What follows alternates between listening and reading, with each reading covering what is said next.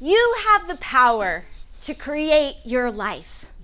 The question is are you creating the life that you want? Yeah, I answered that question years ago. I was sitting on this beautiful bluff in Southern California and I thought, wow, I've created this life that I don't want. you see, years ago, eight years prior to that, I had decided I was heading to Hollywood to become a star.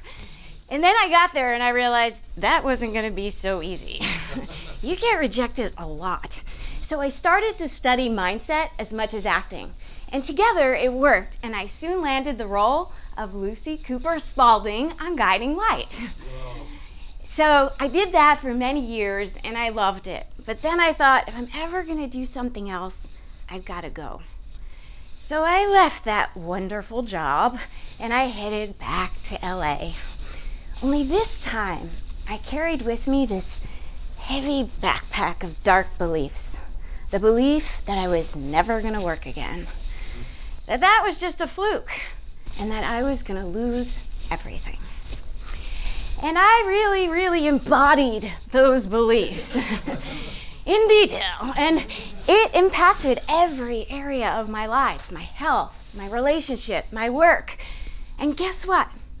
After two years, I lost everything. I didn't work one single day.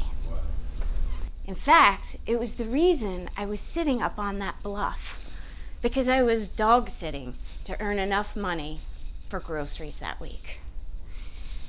But as I was sitting there, I had this aha moment.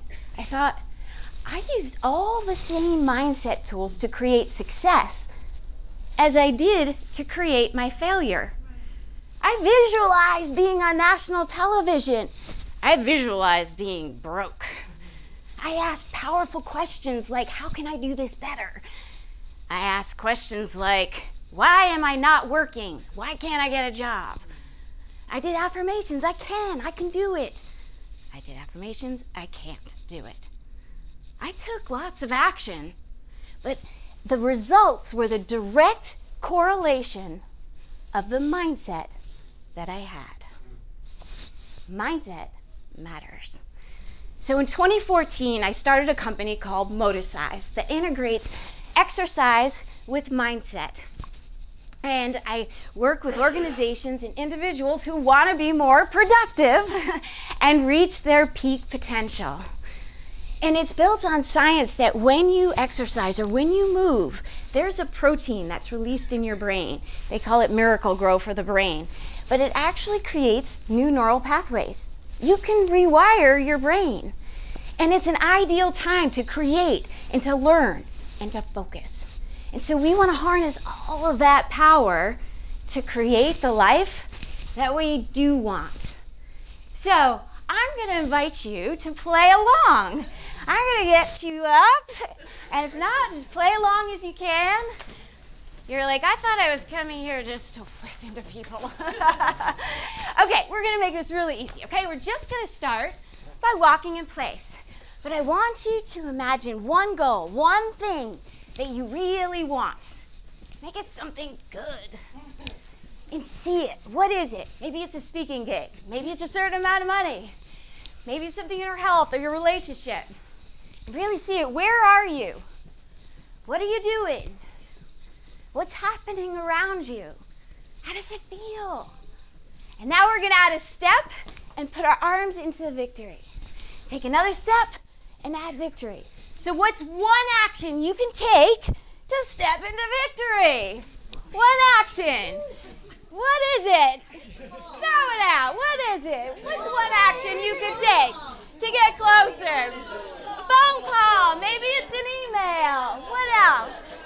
It's something. And get agent. Yeah. okay. Good.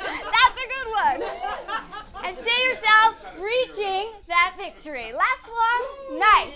Now we're going to do one last. We're going to do jab, jab, cross. Don't hit anybody, please. so jab, jab, cross, all right? And we're going to add I can do it. I can do it. I can do it. Keep going.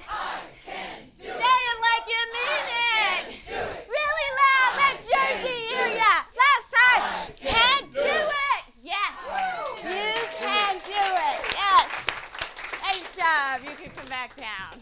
Wow. Terrific. So remember, the next time you need a mindset reset, or maybe you're debating whether to go work out, that when you combine the mind and the body through movement in your emotions and you take action, anything is possible.